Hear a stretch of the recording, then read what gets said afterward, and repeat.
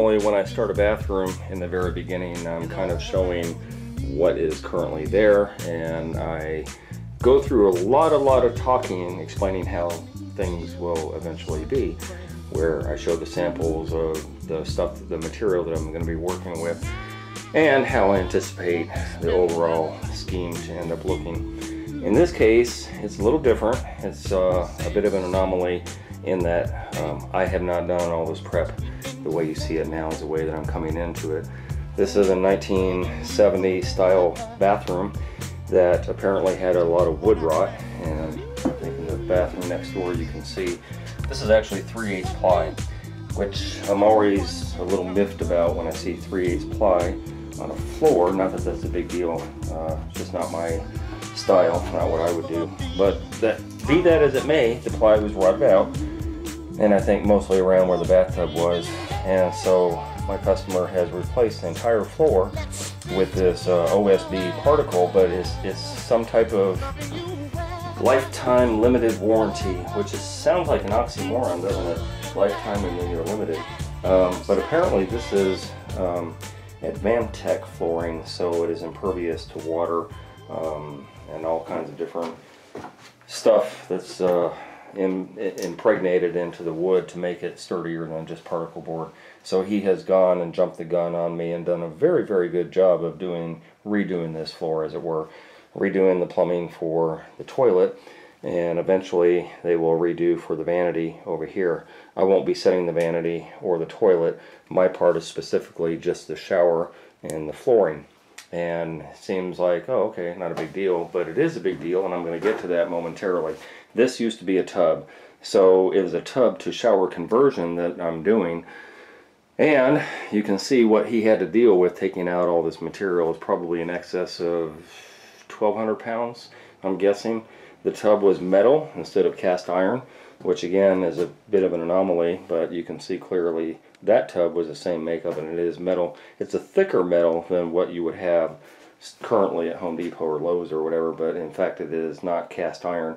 So the tub went away, but these walls weighed a ton because the way they used to do things back in the old day. Uh, don't like working with this stuff. I mean, I give a lot of props to the people back in the, you know, the turn of the century all the way up through the 70s that had to deal with this wire mesh uh, construction and floated out their walls the way they did. Um, I couldn't possibly imagine doing that much work just doing walls nowadays, although the floor was the same makeup also when he took this out.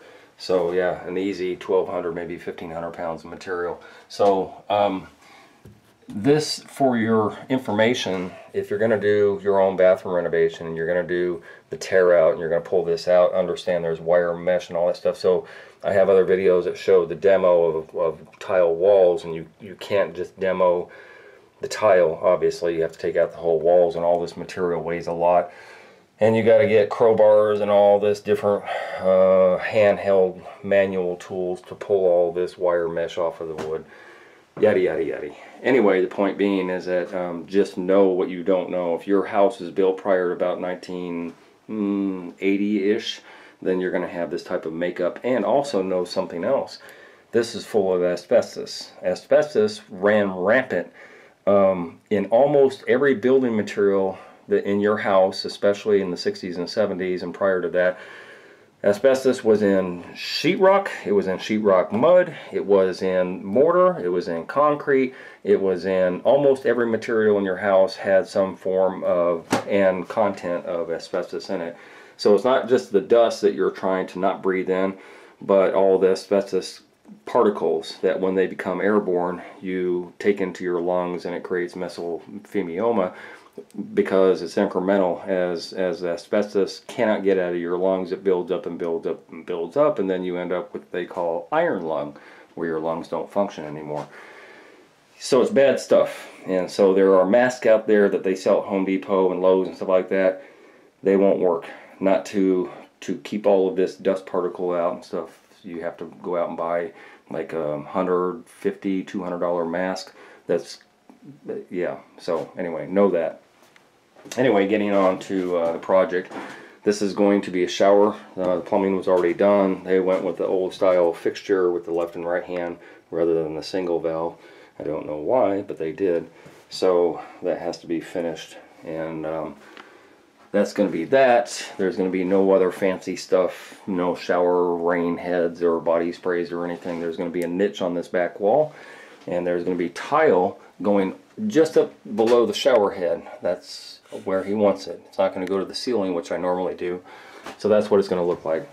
Um, specifically, what it's going to look like, it is so complicated, I don't want to waste all your time trying to explain everything.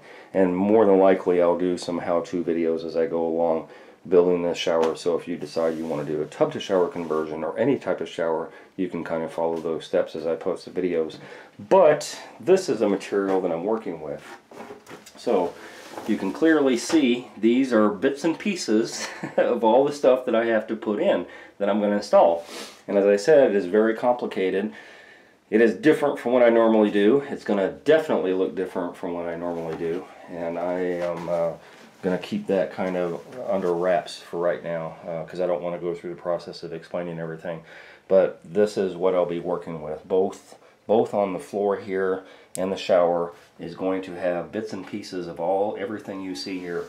So definitely different and you know from this view from this perspective right here I will come back in about nine days eh, eight to ten days maybe and I will show all of this stuff put in and um, it will be it will be one one in a million. I, I doubt I'll ever do anything like this again. I know I haven't done anything like it since I've started and um, you shall see when I'm done. And it is done. Uh, I'm not going to talk a lot about this. Um, I think it kind of speaks for itself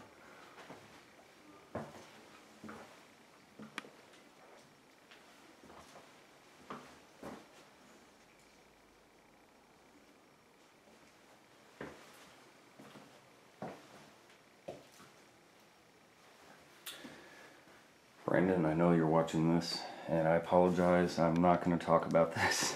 I'm going to let it. I'm going to let it speak for itself. That's just what I'll do. People can kind of take away what they want. This was a tub to shower conversion, which normally is about eight days, maybe 10 in, in extreme circumstances. This job was a solid 12 working days, I believe, 12 or 13 working days. Um, quite extensive. Uh, yeah.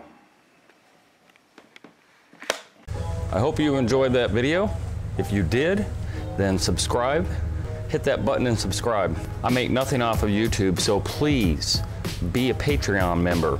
I'm going to post a link down below to my Patreon account and you can donate a dollar, $5, $10, $20 a month. Just pledge that, that on a monthly basis. That will help me produce more videos and, and content so that you can watch and learn from my channel. And donate at least $50 if you're going to call. If you're going to call for advice, donate to my PayPal, please donate first and then feel free to call me or email me uh, for advice. Otherwise, business calls only, please.